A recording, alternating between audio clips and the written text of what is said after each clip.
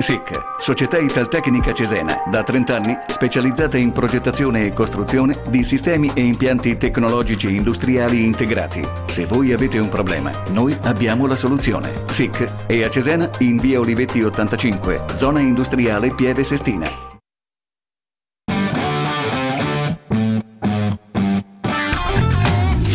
Infotech, il partner HP in Romagna frigoriferi industriali, soluzioni all'avanguardia nella refrigerazione industriale.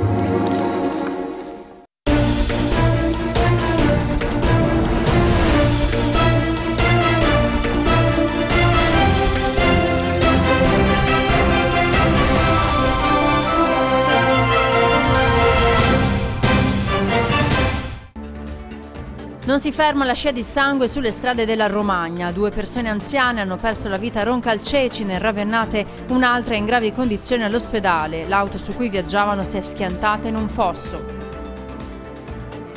Un tuffo poteva costare la vita a due amiche 26enni. Le giovani si sono buttate in un lago a Rimini proibito dove l'acqua è troppo bassa, rimediando gravi ferite. Brutte notizie per le casse del comune di Cesena. La Cassazione ha confermato la nullità della concessione per i ristoranti Gessi e l'amministrazione dovrà risarcire i gestori. Negli ultimi tempi le spiagge di Cervia Pinarella e Tagliata nel Ravennate non sono più frequentate da venditori abusivi, un risultato che gonfia il petto della Polizia Municipale locale, raggiunto con misure efficaci. Successo di pubblico al teatro Diego Fabri di Forlì per lo spettacolo dell'attore americano John Malkovich. La sua voce intensa ha stregato tutti nello spettacolo Report on the Blind. Ciclismo si rinnova la partnership tra il team Androni Giocattoli e Sidermec, una collaborazione che permetterà alla squadra romagnola di proseguire con maggiori prospettive la propria attività anche nella prossima stagione. Questo è il telegiornale della Romagna. In studio Elisabetta Zandoli. E ben ritrovate a questa nuova edizione del nostro notiziario. Purtroppo non si ferma davvero la scia di sangue sulle strade della Romagna. Due persone hanno perso la vita in un incidente a Roncalceci nel Ravennate. Sentiamo. Ancora una tragedia stradale in Romagna. Due persone anziane, un uomo e una donna di 88 e 72 anni, probabilmente parenti, hanno perso la vita in un tremendo schianto accaduto nel primo pomeriggio di mercoledì a Roncalceci, nel Ravennate. Un altro uomo di età avanzata è stato trasportato in condizioni critiche all'ospedale Buffalini di Cesena. Secondo le prime ricostruzioni, poco dopo le 13 l'auto su cui viaggiavano le vittime, una Fiat Panda, avrebbe sbandato finendo in un fosso accanto alla strada dopo aver attraversato tutta la carreggiata. L'autista ha perso il controllo del mezzo in corrispondenza di una curva su una strada di campagna, forse per un malore o per una distrazione. Le due vittime, Francesco e Maria Caroli, residenti nel Faentino, sono morte sul colpo. Subito sono intervenuti i vigili del fuoco e i sanitari con ambulanze, auto col medico ed elimedica. I vigili hanno estratto i corpi dei due anziani e tirato fuori il terzo uomo a bordo del veicolo. I sanitari lo hanno stabilizzato sul posto per poi trasportarlo in elicottero a Cesena. La Polizia Municipale di Ravenna ha operato invece i rilievi di legge per capire l'esatta dinamica di quanto accaduto. I carabinieri hanno chiuso la strada del sinistro per permettere i soccorsi. E un'altra tragedia, questa volta sulle strade Cesenati nel tardo pomeriggio di ieri. Nei pressi di via Capannaguzzo due persone hanno perso la vita, un'altra è stata trasportata in gravissime condizioni all'ospedale. All'origine del dramma lo schianto tra un furgone e un camion in un incrocio tra strade di campagna. Uno dei due mezzi è finito contro un palo della luce. Per due occupanti non c'è stato nulla da fare. Sul posto sono intervenute subito diverse ambulanze e l'elimedica da Bologna, oltre ai vigili del fuoco, chiuse le strade interessate. Due 26enni riminesi sono state trasportate al Bufalini di Cesena dopo un tuffo in un lago proibito dove l'acqua era troppo bassa. Un tuffo che poteva costare la vita a due amiche 26enni riminesi. Lo chiamano lago azzurro, anche se in origine era una cava di estrazione, e il blu intenso delle sue acque invoglia chi, con la calura estiva, ricerca un'alternativa al mare. Eppure la balneazione è vietata, con tanto di cartelli e recinzioni ad indicarlo, ma puntualmente ogni giorno c'è chi li ignora. Era il tardo pomeriggio di martedì quando due giovani, nell'intento di imitare un amico che si era da poco tuffato da un dirupo, hanno raggiunto un rialzo del terreno che forma un trampolino naturale sul lago alto 15 metri. Nessuno sapeva però che la profondità dell'acqua in quel punto era troppo scarsa per un volo da quell'altezza e così le ragazze hanno violentemente sbattuto contro il fondale melmoso ferendosi gravemente. Incapaci di tornare a riva, sono stati allertati i mezzi di soccorso e si è resa necessaria l'eliambulanza di Ravenna per il trasporto della ferita più grave al Bufalini di Cesena. La ragazza avrebbe riportato un violento trauma all'arachide cervicale e delle lesioni alla spina dorsale, mentre l'amica una frattura scomposta alla caviglia. Nella notte scorsa dei ladri per ora ignoti hanno tentato di svaligiare una tabaccheria di Bellari Egea Marina ricorrendo a una BMW come ariete per lo sfondamento della vetrina. L'auto era stata rubata poco prima nello stesso comune. La presenza di manufatti antisfondamento in cemento armato ha però ostacolato l'operato dei malviventi. Dopo alcuni tentativi la banda è fuggita rinunciando al colpo e ha abbandonato il mezzo a qualche centinaio di metri di distanza. Sul caso ora indagano i carabinieri. Doccia fredda per il comune di Cesena. La Cassazione ha confermato la nullità della concessione per i gessi e l'amministrazione dovrà risarcire i gestori. Davvero un'annosa questione. Allora vediamo com'è andata.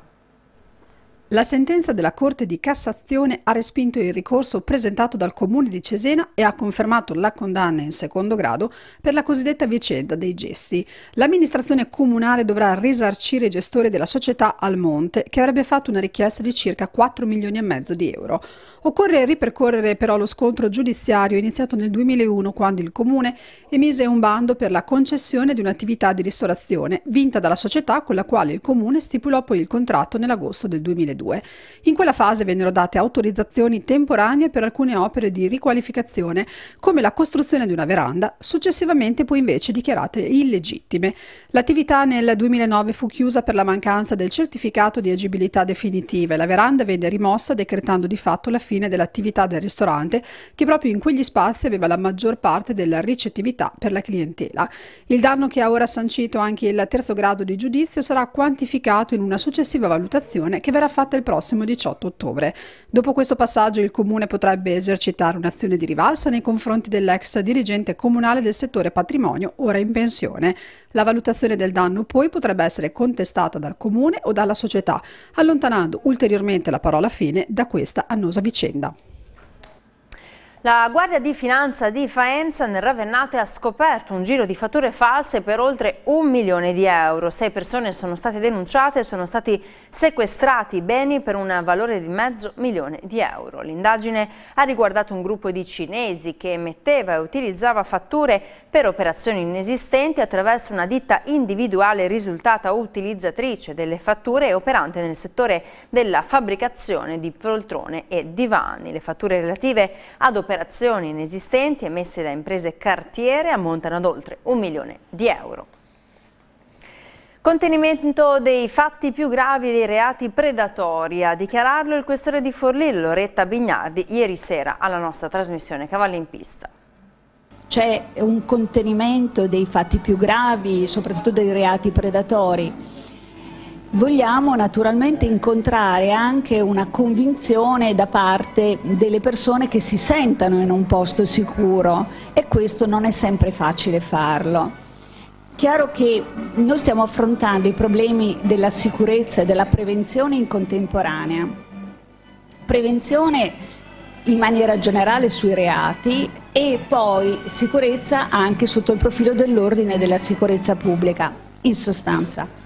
Da un lato come prevenire il furto, la rapina, lo scippo, quello che sia, dall'altro come gestire gli eventi che recentemente sono stati anche alla ribalta, parlo dei grossi eventi, grossi concerti. Nella Notte Rosa abbiamo potuto vedere in qualche modo come si poteva organizzare un evento con più di 20.000 persone cercando di garantire che tutte le cose che devono funzionare in una situazione del genere come ci è stato anche ampiamente suggerito, prescritto con delle direttive specifiche, venisse in qualche modo garantito.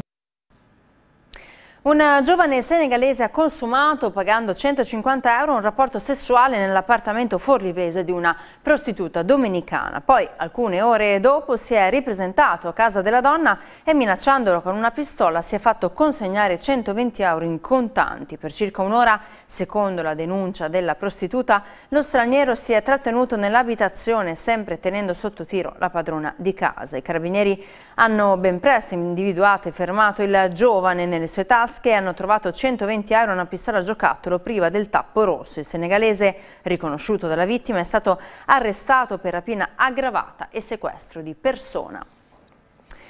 Negli ultimi tempi le spiagge di Cervia Pinarelle Tagliata non sono più frequentate dai venditori abusivi. Abbiamo chiesto come si è arrivati a questo risultato al comandante della Polizia Municipale di Cervia, Sergio Rusticali. Ci troviamo sulla spiaggia di Cervia eh, per parlare con il comandante della Polizia Municipale di un argomento che tocca molto i turisti dell'estate, ovvero eh, i venditori abusivi. È nata una domanda in redazione, come mai eh, sulle spiagge di Cervia non si trovano più i venditori abusivi? Alla fine dell'estate del 2015 il prefetto ha voluto dare un'impronta un eh, molto importante, eh, soprattutto eh, utilizzando la parola chiave della condivisione del, degli obiettivi. Abbiamo eh, iniziato questa lotta con fasce parallele alla, alla battigia del mare, quindi sulla, sulla spiaggia c'era l'intervento massiccio della Polizia Municipale, l'intervento della Capitaneria di Porto, nelle fasce retrostanti sempre la Polizia Municipale assieme alle altre forze di polizia, la Polizia di Stato, l'Arma dei Carabinieri che, che, eh, facevano in modo di eliminare i rifornimenti che venivano dati a questi venditori ambulanti. E ancora diciamo, più a monte la Guardia di Finanza ha fatto degli importanti ehm, diciamo così, sequestri per evitare i propri punti di fabbricazione di, questi, eh, di, di questo materiale che veniva venduto sulla spiaggia. Come avviene quotidianamente questa lotta proprio sulla spiaggia? Noi abbiamo occupato fisicamente la spiaggia, non militarizzato, abbiamo messo dei punti di legalità con dei gazebo, con del personale per, eh, che dà informazioni alla cittadinanza, se ci siamo noi non ci sono i venditori abusivi. E a proposito di spiagge, ma non solo, parliamo di Bolkestein, possibile evidenza pubblica nel 2019 anche per i chioschi di Piadina, oltre che per i bagnini e gli ambulanti. Facciamo il punto. Come per i bagnini e gli ambulanti che svolgono la loro attività su area pubblica, anche i chioschi di Piadina dovranno affrontare la direttiva Bolkenstein partecipando ad un'asta pubblica che, con tutta probabilità, si terrà nel 2019. Solo sul territorio cervese sono circa una cinquantina i chioschi interessati che potrebbero essere così acquistati dal miglior offerente. Sul futuro di queste strutture, che richiamano la forma delle cabine da spiaggia e che sono diventate un vero e proprio simbolo della Romagna, è però ancora molta l'incertezza e nemmeno le associazioni di categoria hanno indicazioni precise rispetto al da farsi. Quello che è certo è che questo tipo di prodotto continua ad attirare turisti, ma non solo. Anche molti residenti, infatti, messi da parte teste e fornelli, si affidano sempre di più ai chioschi che, in molti casi, possono vantare la certificazione IGP. Per il momento, comunque, nonostante le incertezze, la stagione prosegue all'insegna di una buona attività grazie anche al meteo, che mitiga, almeno in parte, l'apertura serale degli stabilimenti balneari che, a detta di molti addetti ai lavori, avrebbe sottratto clienti ai chioschi di Piadina. Si è tenuta ieri a Forlì una conferenza stampa indetta dal WWF per fare il punto sulla situazione di due punti di estrema importanza per la città e i cittadini, via Emilia Bis e zona traffico limitato. Le linee guida del piano urbano della mobilità sostenibile a Forlì analizzate sotto diversi punti di vista. Questo è l'obiettivo del tavolo delle associazioni ambientaliste TAF che ha voluto dire la sua sul piano territoriale, ma anche sulla gestione delle zone a traffico limitato e pedonalizzate del centro. Per quanto riguarda la via Emilia Bis ci sono pareri favorevoli. Nel comune di Forlì sono previste due eh, collegamenti tra la via Mattei da una parte con la eh, circolazione di eh, Forlimpopoli e dall'altra con la via del Bosco che conduce a Carpinello. Sono due varianti accettabili perché gravano la frazione di San Leonardo da traffico pesante aumentato la sicurezza. Riteniamo che la priorità per Forlì e per il nostro territorio sia comunque la, il completamento degli assi tangenziali e quindi a questi vanno gli investimenti e non prioritariamente alla via Emilia Bista, Forlì Popoli e Cesena. Il TAF sostiene anche che è necessario valorizzare il trasporto pubblico locale e dare priorità alla realizzazione della pista ciclabile tra Forlì Popoli e Cesena. Diverse invece le opinioni per quanto riguarda il centro storico di Forlì. Ci sono norme chiare dell'Europa e della Regione che dicono che al 2020 la ZTL eh, attualmente limitata a una porzione del centro storico dovrà essere ampliata alle porte e il 20% di questa ZTL del centro storico dovrà essere integralmente pedonalizzata. Le nostre proposte vanno per un'attuazione eh, graduale di questa transizione ad una pedonalizzazione più ampia. Rimaniamo a Forlì per parlare però di tutt'altro argomento, ci occupiamo ora di spettacoli. Ieri sera al Teatro Diego Fabbri per Emilia Romagna Festival si è esibito con una prima nazionale l'attore americano John Malkovich. Vediamo com'è andata. After I'm dead and decide to pursue my research and go even further than I was Una voce intensa e piena, così come la sua presenza sul palcoscenico del Teatro Diego Fabbri di Forlì. John Malkovich si è presentato con un abbigliamento classico, vestito grigio, testa rasata e pizzetto bianco. È il modo di fare che tanto ha distinto i suoi personaggi seduttori e ambigui accompagnato dal piano di Anastasia Terenkova, che vanta diversi riconoscimenti internazionali, e i solisti aquilani che sono riusciti a dare con la loro musica il senso di inquietudine che hanno accompagnato il monologo scritto da Ernesto Sabato. John Malkovich ha incantato la platea forlivese con il suo Report on the Blind, spettacolo in anteprima europea.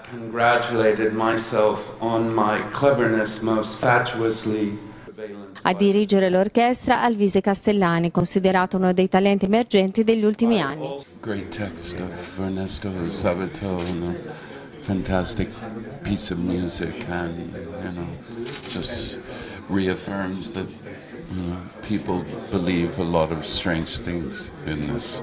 ha sicuramente aggiunto una stella in più nel panorama di personaggi che costellano l'Emilia Romagna Festival e che continua la sua programmazione fino al 9 settembre, toccando con i suoi spettacoli diverse città della regione.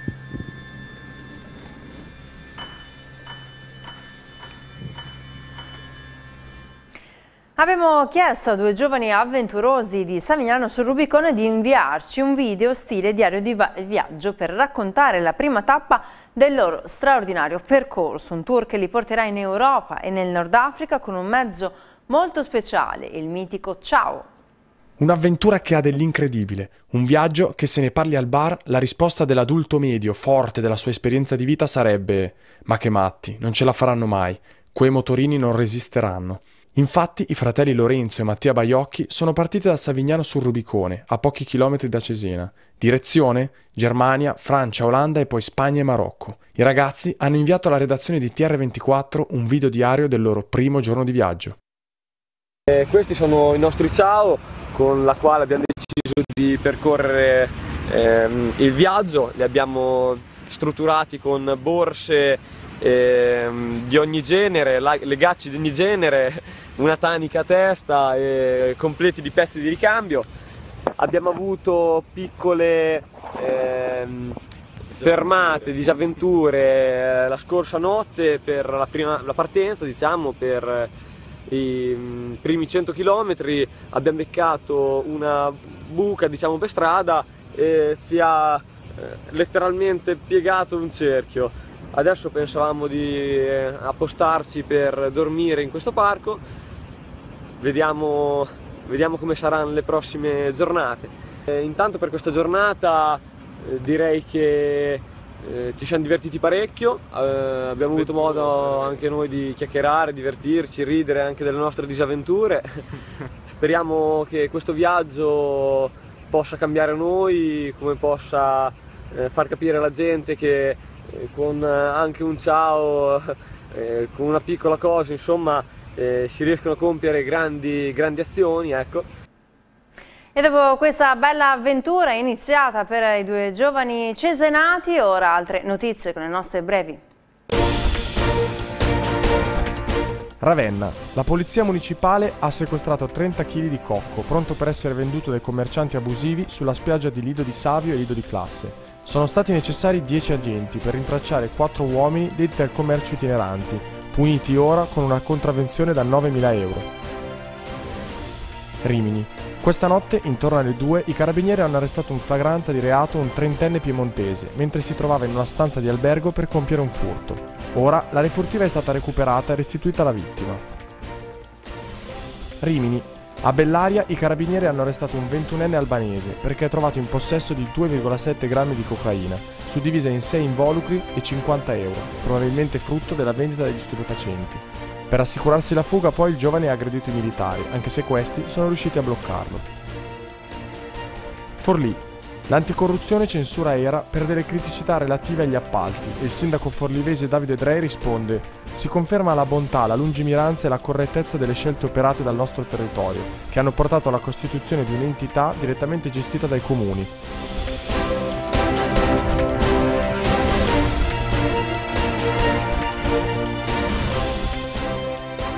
È il momento dello sport, sentiamo le ultime.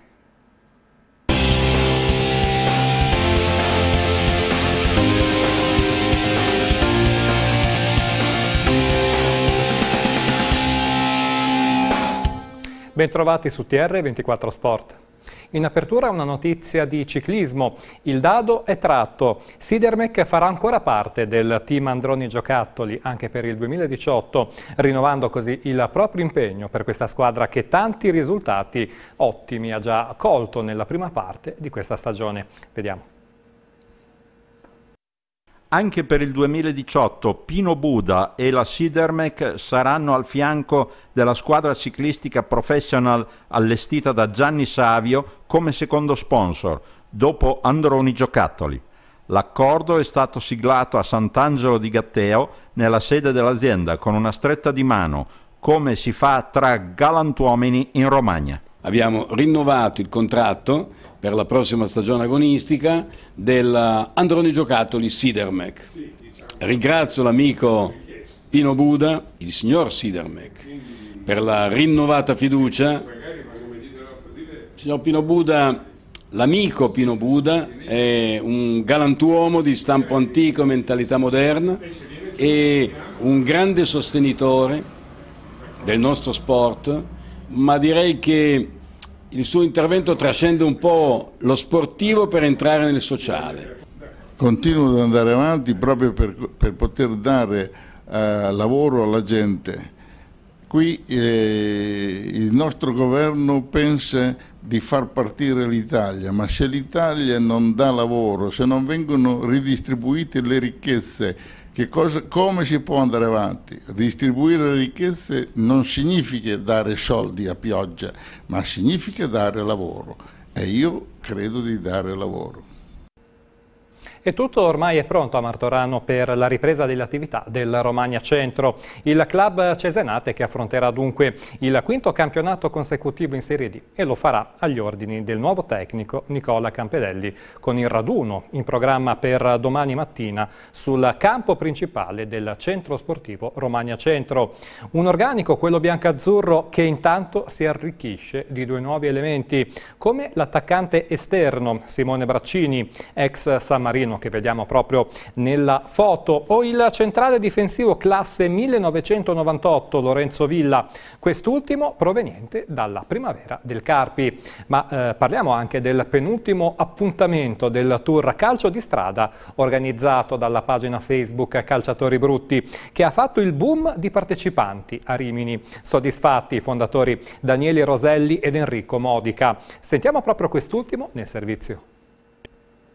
Abbiamo deciso insomma, di fare un evento un po' più sul, sul campo, dopo essere, aver fatto successo pag sulla pagina Instagram e Facebook con 1.600.000 fan, abbiamo deciso finalmente di incontrare un po' i nostri fan attraverso questo, questo evento che si chiama i Giochi del Calcio di Strada, che si compone di sei discipline, tutti quei giochi che si facevano un po' da, da bambini, come la tedesca, che a Rimini, ci hanno detto si chiama un po' volo, 21, scalare. Abbiamo la gabbia 3 contro 3, che è una classica partitella 3 contro 3, e il pool soccer diciamo un po' la modernità per tutti quei giocatori un po' pigri che è il calcio biliardo, insomma, il calcio biliardo bisogna imbucare la 8 eh, attraverso le sponde, le mezze, le piene il tiro di precisione in cui bisogna centrare attraverso dei tiri dei copertoni e il torello che è una disciplina di, di riscaldamento insomma.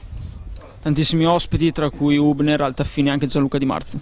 Io ho avuto il piacere di giocare con eh, Darione Ubner a calcio tennis e nonostante comunque l'età è ancora un, un, fenomeno, posso dirlo, 15 sigarette prima della, della partita ma è sempre un gran professionista insomma. Ci abbiamo il grande Gianluca Di Marzio con eh, le sue chicche di calciomercato, ancora un po' deluso mi sa per Bonucci al Milan però... Ecco questo è davvero tutto, grazie per essere stati qui con noi, arrivederci.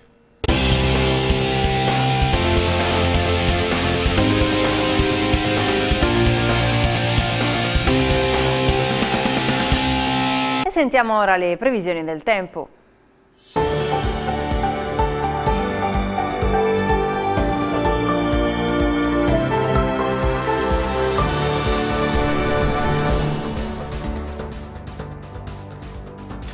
Buonasera a tutti i telespettatori di Teleromagna TR24 da Andrea Raggini. La prima parte della settimana è stata contraddistinta da alta pressione, cieli sereni, sole e temperature decisamente gradevoli con valori freschi di notte, soprattutto tra lunedì e martedì. La situazione meteo per domani vede ancora l'alta pressione protagonista con cieli sereni al mattino. Nel pomeriggio avremo un aumento della nuvolosità, soprattutto sull'Emilia centro-occidentale, ma con rare precipitazioni relegate ai settori al confine con la Lombardia. Temperature in aumento, si farà sentire il caldo, al mattino avremo temperature comprese tra 16 e più 20 gradi, nel pomeriggio picchi fino a 35-36 gradi non saranno da escludere sulle pianure centrali dell'Emilia. Il caldo si farà sentire almeno fino a domenica quando non sono previste precipitazioni, quindi l'alta pressione tornerà a eh, interessare la regione almeno fino al prossimo fine settimana. Per ora è tutto, buona serata da Andrea Raggini.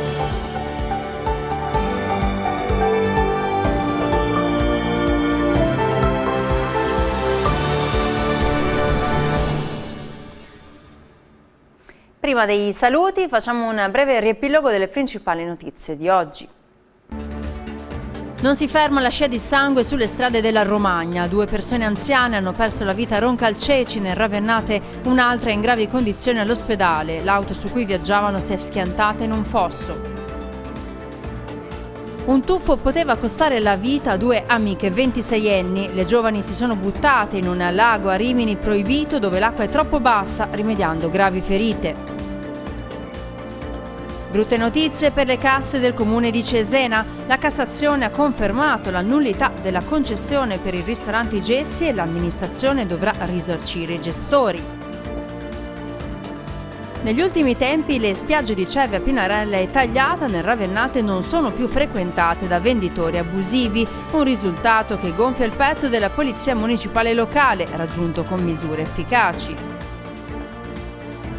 Successo di pubblico al teatro Diego Fabri di Forlì per lo spettacolo dell'attore americano John Malkovich. La sua voce intensa ha stregato tutti nello spettacolo Report on the Blind. Ciclismo si rinnova la partnership tra il team Androni Giocattoli e Sidermec, una collaborazione che permetterà alla squadra romagnola di proseguire con maggiori prospettive la propria attività anche nella prossima stagione. È davvero tutto per quanto riguarda questa edizione del nostro telegiornale. Vi ricordo che su tr24.it potete trovare tutte le news aggiornate. L'appuntamento è domani mattina alle 7.15 con la rassegna stampa. Grazie dell'attenzione, una buona serata.